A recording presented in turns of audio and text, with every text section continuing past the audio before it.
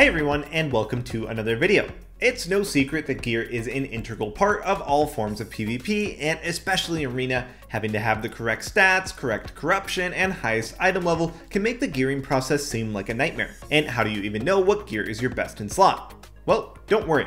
Today, we here at SkillCapped are going to be breaking this down into three easy steps that you can use to get geared and quickly jump into Arena. Step 1 is going to be all about preparation, boosting your item level and getting all of the required tools in order to farm your BIS gear. Then, in Step 2, we'll be showing you how to quickly and efficiently identify and target farm your best in slot items. Last up, Step 3 is going to be the icing on the cake, where we push that gear set even further to the top to give you the best possible gear and gain a competitive edge in PvP. But before we get into it, if you're new to the channel, be sure to like and subscribe if you want to show your support. Currently, 82% of you are not subscribed, which means that most of you are missing out on the awesome rank 1 fueled info that we drop regularly that will be sure to boost your rating in no time. So be sure to show some love and hit that subscribe button. And if you're interested in more content like this, along with gaining early access to all of our YouTube videos, exclusive matchup guides, access to our forums, and the opportunity to get your gameplay reviewed, be sure to head on over to skillcap.com slash wow and sign up today. So if you're starting a new character or a fresh alt, then you're first going to have to complete a few steps in order to begin farming your BIS gear. If you've already got a decent enough item level to begin farming plus 14 or plus 15 dungeons, then feel free to skip forward to step 2 to find out how to begin farming your BIS items. To start off, you're going to have to upgrade your Heart of Azeroth neck and unlock essence slots. This can be done by following Magni's questline taking you into Neltharion's lair, bumping up your neck level to 50 and giving you your first essence. After this, you should unlock world quests. This can quickly be done by heading to your faction's dock in your main city and picking up either Uniting Zandalar for the Horde or Uniting Kul Tiras for the Alliance.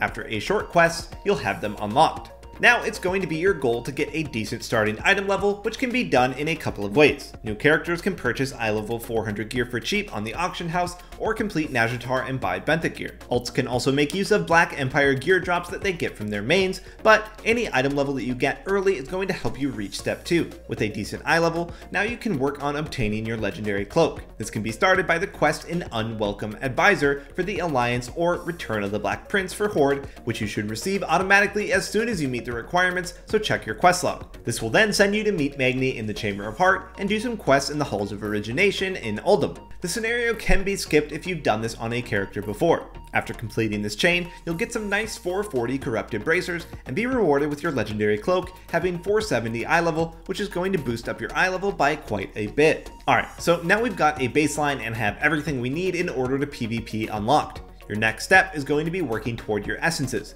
Having the correct essences when it comes to Arena is just as important as gear. To find out the correct essences that you need for your class, we recommend checking out our free to view articles on the website. You'll also want to bookmark this for later as we'll be using it again to form our BIS gear list. Remember though that some of these essence grinds can take longer than others as they are time gated, so start working towards them as soon as you can. Again, if you're an alt, you're able to purchase essences that your main has unlocked from Mother in the Chamber of Heart. Furthermore, you should be aiming to complete the minor and major assaults located in both Uldum and the Vale of Eternal Blossoms. The minor assault is bi-weekly, and the major assault resets once a week.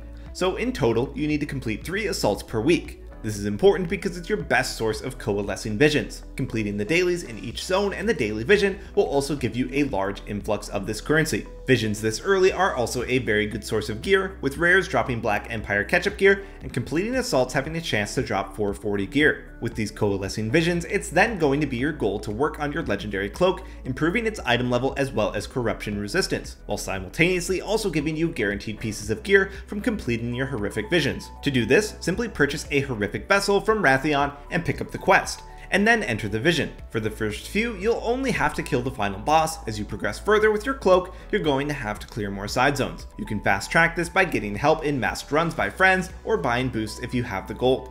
Now, your final goal to achieve before you can move on to step 2 is further pushing your item level so that you can farm mythic plus 14s and higher. This can be done in so many different ways depending on your circumstances. If you have friends willing to run you through dungeons or raids to quickly gear you up, that's of course going to be your best bet. If you've got gold, then buying armor stack boosts for Mythic Plus dungeons or raids can again gear you up very quickly. Otherwise, it's going to be the process of working your way up the Mythic Plus ladder, starting with standard Mythic dungeons and progressing with higher keys as you gain more and more gear, while clearing Ny'alotha on normal and LFR just for the added eye level. We're really not worried about anything other than item level at this point, so if it's a higher eye level, it's going to be an upgrade. Also, be sure to keep a lookout for world quests with item level upgrades including world bosses, weekly assaults, and war fronts. While you can get gear from doing arena and PvP, the speed at which you can cap and the quality of gear isn't as good as Mythic Dungeons, so we recommend sticking to PvE to gear up at this point. Now that you've reached an adequate item level to enter Mythic Plus 14 or higher at around 460 eye level, we can move on to step 2. But first, now that we are at a point where we can start to target gear, we're going to have to first figure out what gear you want to target, which can be done by finding out your best in slot stats. This can be made easy by once again using our free to view articles over at skillcap.com. Let's take Rogue for instance. The recommended stats for Rogue, according to our article, are versatility, haste, mastery, then finally crit.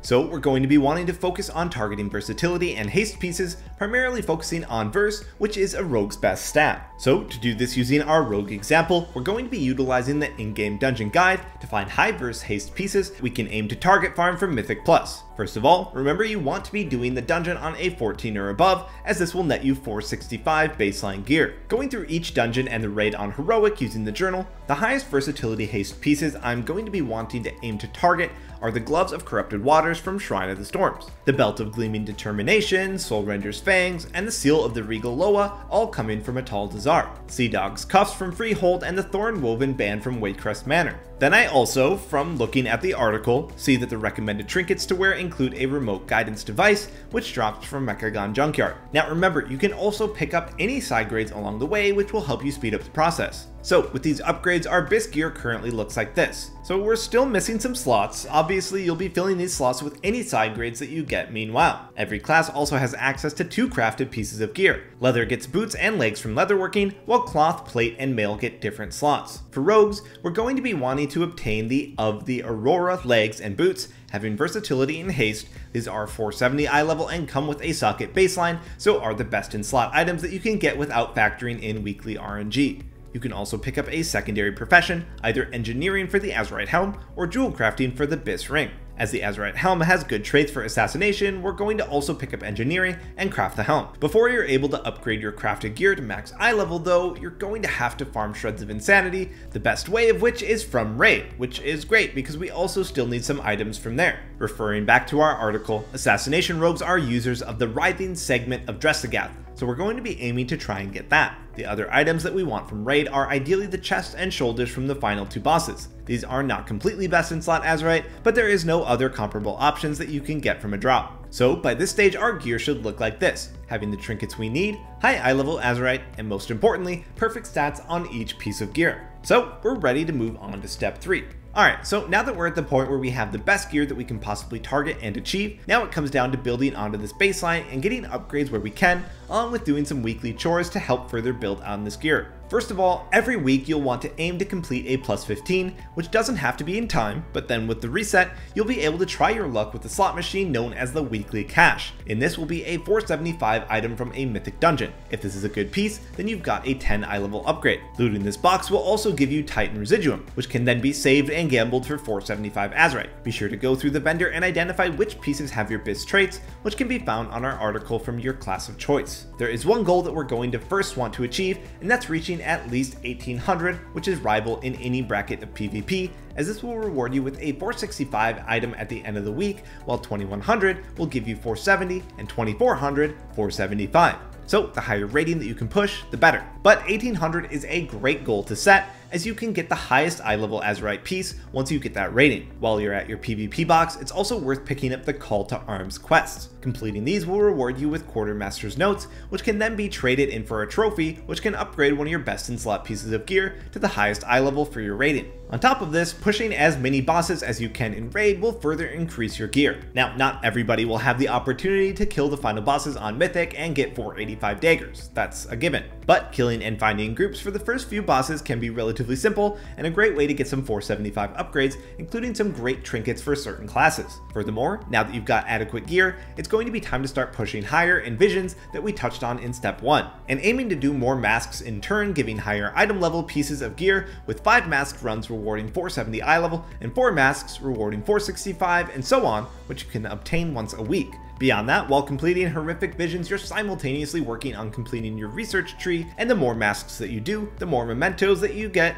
and it speeds up the process quite a bit. And when complete, this will also allow you to spend your corrupted mementos to further improve your BIS set of gear by purchasing and adding sockets. Then, for the rest of your time, you'll want to aim to farm Echoes of Ny'alotha. We recently released a video on this, but to cover it again, the best way to farm Echoes is from 2v2 Arena. So you actually get to play PvP for once and gear up simultaneously. You also gain Echoes from Mythic Plus, clearing the raid, and doing emissary quests, so you should have a decent amount already. With these echoes, you'll then want to spend them on your best in slot corruption, which again can be found in our articles, or our best corruption for each class guide, which I'll leave a link to in the description. This is without a doubt the hardest step in this guide. The corruption is sold by Mother and changes bi-weekly, so this could potentially leave you waiting up to a month for your BIS corruption if you're unlucky. This was very obviously not the best idea by Blizzard to put this on a rotation instead of just allowing players to purchase every corruption. Let us know what you think about this in the comments below. After you've got your corruption, you can then use these echoes to buy vessels, which then equates to more sockets. Anyway, by this point, you should have about as good of gear as you can possibly get without factoring in RNG, so all that remains is to repeat your weekly chores of capping arena, doing your visions, and weekly mythic plus to hope and pray that you get further upgrades in the future. Following these steps, you'll be able to quickly gear up and obtain the best stats possible to give you a competitive advantage when it comes to PvP and arena. Alright, we here at SkillCap put a ton of work into keeping you updated on how to play and play around every class in World of Warcraft Arena. The best way for you to show your support and love for the channel, as well as remaining up to date on any shifts in the meta as they happen, is to like, subscribe, and share the video. Remember, the content that you find here on YouTube is just a taste of the hyper improvement platform you'll find on our website. If you're serious about pushing arena rating and want to improve, be sure to check it out. Thanks for watching, and we'll see you next time.